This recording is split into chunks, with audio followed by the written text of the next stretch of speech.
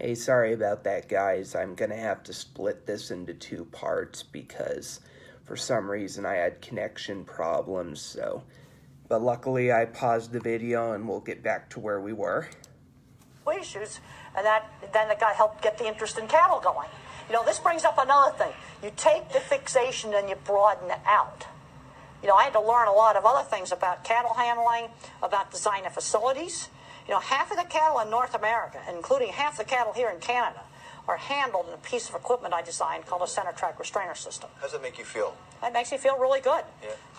It's like it, Hey, Lori. Hope things are going well for you. We're watching was there Temple ever any part of you that wanted to prove that you could do this? There was definitely a part of me in my early 20s where I wanted to prove to people I wasn't stupid. Right.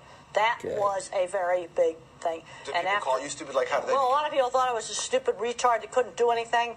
And when that dip vat got built and they said it was a masterpiece, and that did happen, and the thing with the metal plate put it Hey, in there, Nathan. that Oh, happened. Hope things are going That's well. That, all I'm the, in everything, all the design Bakersfield stuff was right accurate. now. Now the movie showed them wrecking my dip vat, putting a metal plate in it.